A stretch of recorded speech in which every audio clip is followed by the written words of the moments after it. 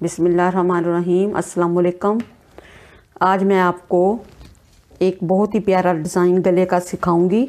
इसके लिए सबसे पहले आपको एक इंच ये चौड़ी पेपर टिकन और ये तकरीबन 40 इंच इसको लंबाई में हमें ये चाहिए।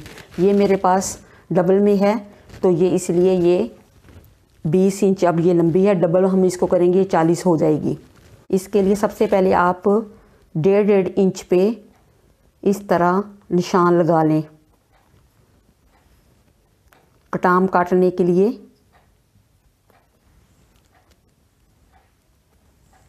ये अब हमारे लाइन लग चुकी हैं, डेढ़ डेढ़ इंच पे जो मैंने कटाम बनाने के लिए लाइंस लगाई थी।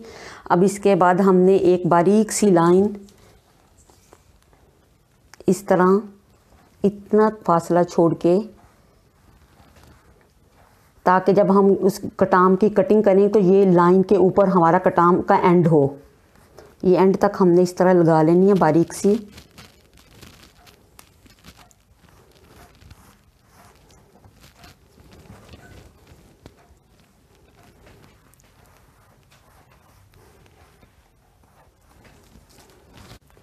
अब हम गोल कटिंग इसकी पहले निशान लगाएँगे पेंसिल से, फिर हम इसकी कटिंग करेंगे। ये जो हमने ये निशान लगाया था, इधर से हमने उसको हल्का हल्का सा इस तरह, इस निशान से उसको हमने गुलाई में इस तरह मिलाना है आपस में, ताकि वो हमारा एक कटाम सा बन जाए, गोल कटाम। ये देखें, ये हमारा एक तैयार हो गया, मैं अब इसकी कटिंग करती हूँ।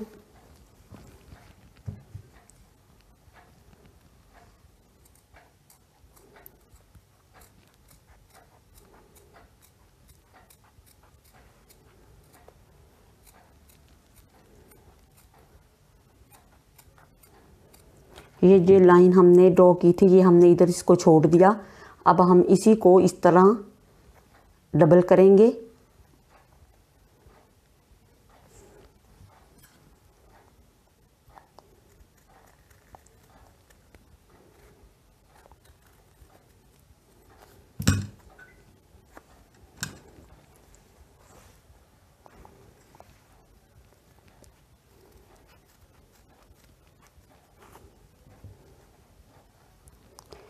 ये देखें, अब हमारे ये दो इस तरह बन चुके हैं, फिर इसी तरह हम इसको फिर इसी तरह डबल करते जाएँगे और कटिंग करते जाएँगे।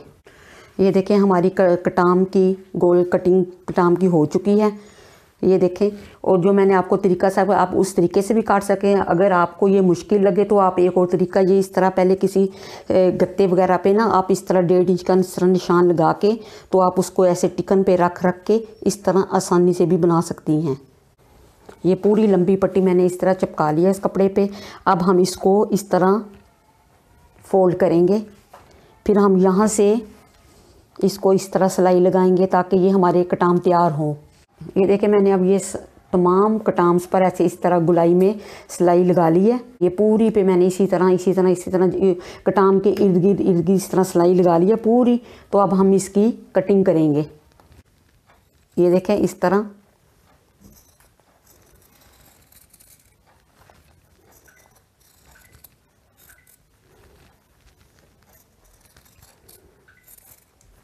या इसी तरह पूरी आप पट्टी जो हमने तैयार किया, इसी तरह इसको कटिंग करते रहें।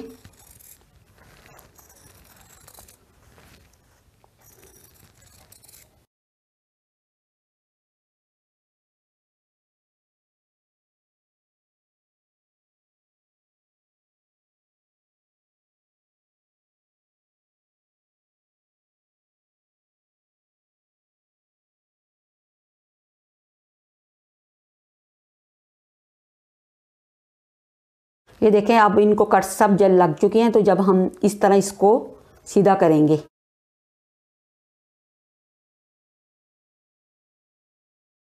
अब हम इनको प्रेस करेंगे। ये देखें, मैंने अब ये इनको प्रेस कर लिया है। ये प्रेस करने के बाद इनकी इतनी खूबसूरत शेप आई है। कमीज़ के फ्रंट पे हमने ऊपर तीन इंच पर ये निशान लगाना है। और फिर हमने इस गले को देखना है कि हमारी ये पट्टी कितनी लंबी तैयार है। ये नेक वाला गला बनेगा।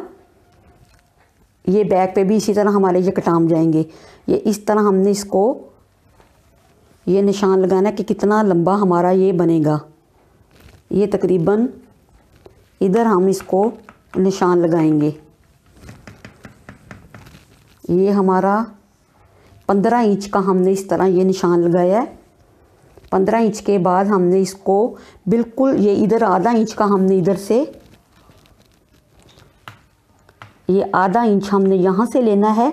फिर हमने इसको इस तरह, ये जो हमने तीन इंच का ये निशान लगाया था, हमने इसको इसके साथ इस तरह मिला देना है।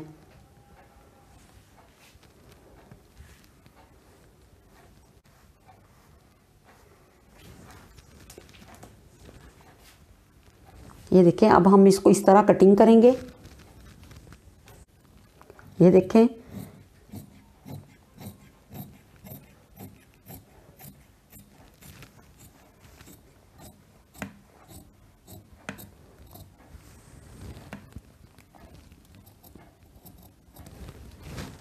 ये फिर मैं इधर छोटे से कट इस तरह कैंची से लगाऊँगी। ये देखें, ये मैंने इस तरह लगाया है।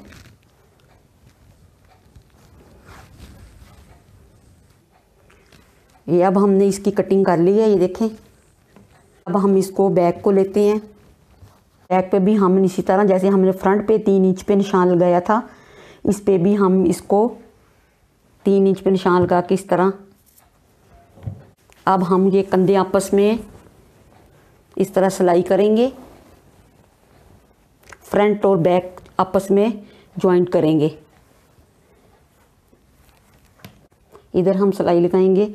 ये बैक को हमने कटिंग नहीं करनी, ये हमारा नेक वाला गला बनेगा।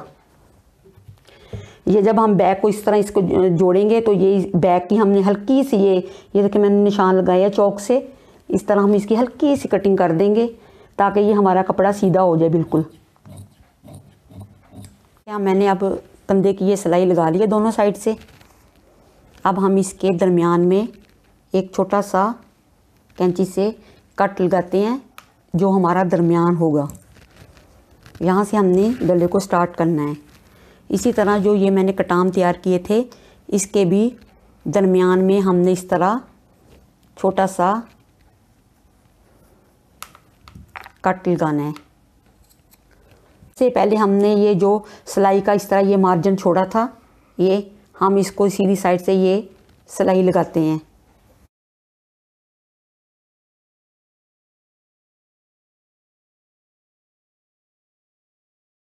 मैंने सिलाई लगा ली है।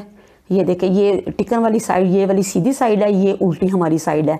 अब हमने जो ये निशान लगाया था ये देखे, जो मैंने ये निशान लगाया था, ये उल्टी इस तरह करके, ये जो कमीज़ पे निशान लगाया था, इसके दरमियान में इस तरह इसको रखना है।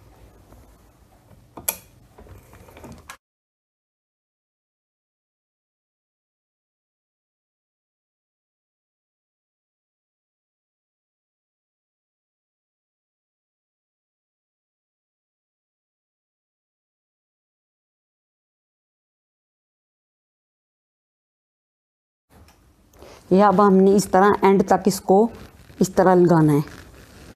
ये जो हमने सिलाई लगाई थी, ये हमने इसके ऊपर ऊपर मैं सिलाई लगा रही हूँ अब। ये एक साइड हमारी मुकम्मल हो गई है। ये एंड तक मैंने इधर इधर सिलाई को ख़त्म कर दिया है। अब जो हमारी दूसरी साइड है, वो अब हम इधर से दरमियान में से शुरू करते हैं।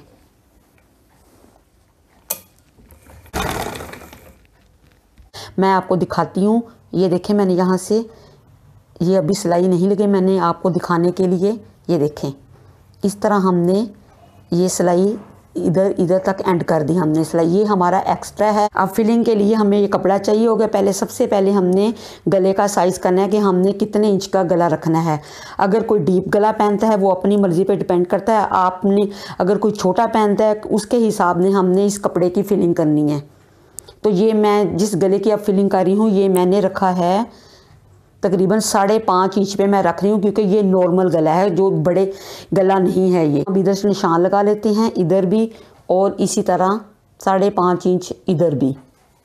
अब हमें फिलिंग के लिए ये देखें, यहाँ से, इधर हमने यहाँ से सिलाई लगानी है, हमें तकरीबन पाँच इंच ये हमें इधर से चौड़ा कपड़ा चाहिए होगा। ये देखें, मैंने ये उतार लिया है कपड़ा। इतना लंबा इसको हम डबल करेंगे और हम इसके नीचे इस तरह जो इधर गले वाली साइड थोड़ी सी आएगी, मैंने इधर ये टिकन लगा दी है। अगर आप चाहें तो इस पे पूरे पे भी टिकन लगा सकते हैं, लेकिन मैंने इतनी ही लगाई है, ये देखिए, इस तरह वो बन गया है। ये मैंने इस तरह, ये देखें और जो टिकन वाला हिस्सा है वो हमने इसको ऊपर वाली साइड पे करना है। ये अब हमने इसको फिलिंग वाले कपड़े को पिन अप कर लिया एक मैंने पिन ये लगाई है, एक इधर एक इधर इधर ताकि ये हिले ना इस तरह। जब अब हम इधर इधर से लेकर, यहाँ से लेकर इस तरह इस तरह अब हम इसकी सिलाई लगाते हैं। ये अब मैंने सिलाई लगा ली है इधर, जो हमने नीचे कपड़ा फिलिंग के लिए रखा था, यहाँ से लेकर, यहाँ तक मैंने सिलाई लगा ली है। तो ये मैंने कपड़ा एक्स्ट्रा रखा था, ये देखें। ये इस तरह। तो अब हम जो हमारा एक्स्ट्रा कपड़ा है, अब हम उसकी कटिंग कर देते हैं। देखें, अब हमारी ये इस तरह कटिंग हो गई है।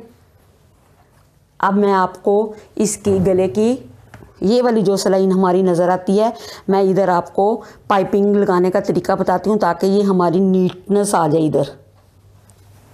ये जो हमारी सिलाई है कंधे की, इधर से हमने, ये मैंने कट लगा लिया। इधर सिलाई के ऊपर इसी तरह मैंने इसी सिलाई की सीध में ये कट लगा लिया है। इसको हमने इस तरह का एक कपड़ा लेना है। इसको मैंने दोनों साइडों से इस तरह हाथ से फोल्ड कर लिया इसको हम, ये जो हमने कट लगाया था इधन इसके नीचे रख के इस तरह सिलाई लगानी है। जो हमने पहले सिलाई लगाई हुई है, उसी के ऊपर ऊपर हमने इसको सिलाई लगाना है।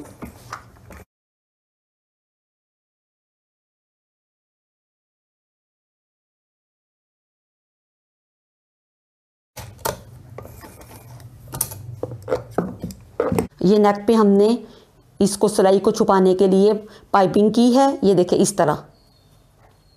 ये, जब हमने प्रेस किया, अब ये इस तरह बन गया तो आप अब इसको इस तरह तुरपाई कर लें। ये हमारी इधर से सिलाई छुप गया नीटनेस आ गई है गले पे।